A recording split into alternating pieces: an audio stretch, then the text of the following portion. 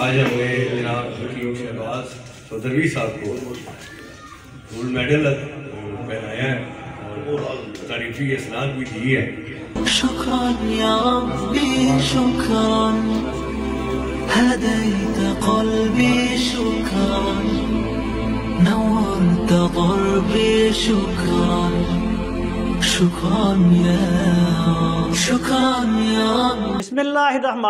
रहीम प्यारे भाई और बहनों असल वरहमल वबरक उम्मीद है कि आप सब खैरियत से होंगे। मैं हूँ आपका मेज़बान हकीम शहबाज हुसैन नवान और आप इस वक्त देख रहे हैं Hakeem Shahbaz herbal TV on YouTube.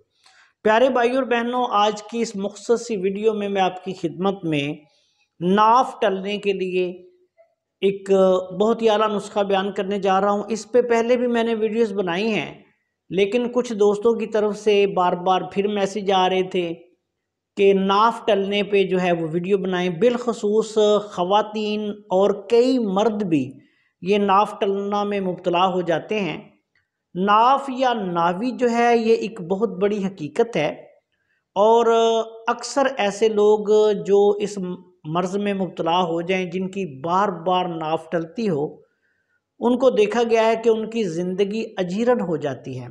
बिलखसूस जो लोग अक्सर ख़राबी मैदा में मुबतला रहें, उनको इस तरफ़ तवज्जो करनी चाहिए और नाफ जो है उसको चेक करवाना चाहिए। बड़े बुज़ुर्ग या कुछ अच्छे काबिल तबीब जो हैं, ये इसको चेक कर लेते हैं कि ये नाफ टली हुई है या ठीक है तो उसके मुताबिक फिर वो इसका इलाज जो है वो कर लेते हैं। आज की इस मुख्तर सी वीडियो में ऐसे लोगों के लिए जो ये मैसेज बार बार कर रहे थे कि नाफ टलना पे आप कोई अच्छा सा नुस्खा हमें अपने चैनल के जो मोज़ सब्सक्राइबर्स और व्यूवर्स हैं उनको दें तो उनकी खिदमत में ये नुस्खा है। इसमें सबसे पहले आपने काली मिर्च लेनी है, एक तोला। उसके बाद आपने काला ज़ीरा, जिसको ज़ीरा स्याह कहा जाता है, ये आपने लेना है एक तोला। नक छिकनी बूटी नक छिकनी बूटी जो है, ये पंसारी की दुकान से मिल जाती है। कोई अच्छा पंसारी हो तो उससे मिलेगी या फिर जो तिब्बा कराम इसकी शनाख्त रखते हैं, वो बाहर भी, खेतों में भी, कई इलाकों में ये होती है और बाज़ात दरियाई इलाके में ज़्यादा पाई जाती है। बहुत मुफीद बूटी है और इसके इस्तेमाल से नाफ जो है, वो अल्लाह के फजल से बिल्कुल दुरुस्त हो जाती है। वैसे तो ये बूटी बहुत गुणकारी बूटी है, इसके बहुत ज़्यादा फ़ायदे हैं, इस पर इंशाल्लाह फिर कभी मैं वीडियो बनाऊँगा।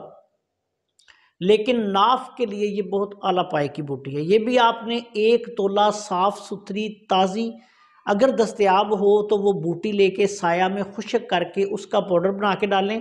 अगर फ़र्ज़ करें वो आपको ताज़ी दस्तियाब नहीं है तो फिर किसी अच्छे पंसारी से ये ऐसी बूटी जो किरम खुर्दा या बहुत पुरानी ना हो, वो नहीं ख़रीदनी। याद रखें कि इस नुस्खा में सबसे अहम करदार जो है, ये नक चिकनी बूटी का है।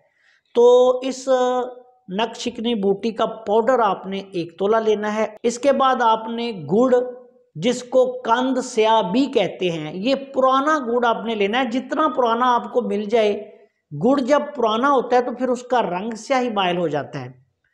तो ये स्याही माइल जो गुड़ होता है, उसको कंद स्या कहते हैं तिब की ज़ुबान में। ये भी आपने एक तोला लेना है। इन तमाम चीज़ों को पहले अद्वियात के पाउडर बना लें। उसके बाद इन अद्वियात को गुड़ में मिला ले और इसकी अच्छी तरह कुटाई करके चने के दाने के बराबर गोलियाँ बना लें। ये काबली चने के दाने के बराबर गोली बनेगी। उम्र, वज़न, ताकत और सेहत के मुताबिक आप एक से दो गोली दिन में तीन दफ़ा खाना खाने के एक घंटे बाद ये आपने मरीज़ को ताज़ा पानी के साथ इस्तेमाल करवानी है। पंद्रह दिन से लेके एक माह तक का इसका इस्तेमाल करवाना है। इन ताला इससे जिन लोगों की बार बार नाफ टलती है, वो ठीक हो जाएगी।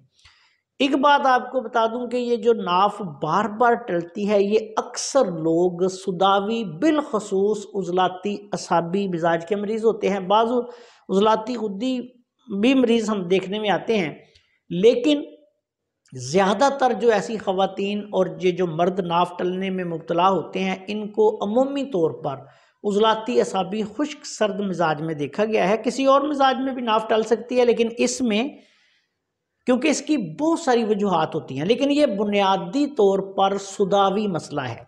ये बात याद रखने वाली है।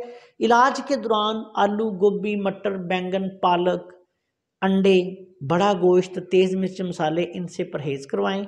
नरम गज़ाएँ, जूद हज़म गज़ाएँ मरीज़ को खिलाएँ और कोशिश ये करें कि इस इलाज के दौरान मरीज़ कम अज़ कम दो तीन चम्मच देसी घी जो है, वो लाजमी अपनी खुराक में इस्तेमाल करें क्योंकि ये बुनियादी तौर पर खुश्की की ज़्यादती से होने वाला मर्ज़ है।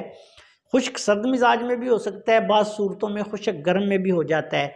तो इसलिए इसके इलाज के दौरान आपने ये लाजमी याद रखना है कि जब भी आप कोई इस ऐसे मरीज़ का इलाज करें तो उसकी खुश्की का जो है वो भी साथ साथ बंदोबस्त करना है।